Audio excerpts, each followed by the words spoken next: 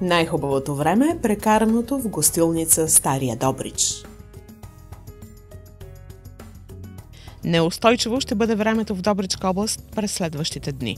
Утре ще има променлива облачност, която около обяд ще се оплътни и ще започнат валежи от дъжд, придружени от грамотевици до вечерта. Ще духа слаб на моменти тих южен вятър, максимални температури 25, минимални 16 градуса. Край морето ще превали едва при вечер, но вятърът ще е малко по-силен. В среда ще има повече слънчеви часове, но след обяд отново ще превали и прегърми. Вятърът остава без промяна, максимални температури 20 26, минимални 17 градуса. По Черноморието валежи не се очакват. През нощта срещу четвъртък и през по-голямата част от деня отново ще има грамотевични бури. Предимно слънчево ще бъде преди обяд, когато вятърът за кратко ще духа от север. Максимални температури 25, минимални 17 градуса. Дъждовно през целия ден ще бъде по морския бряг.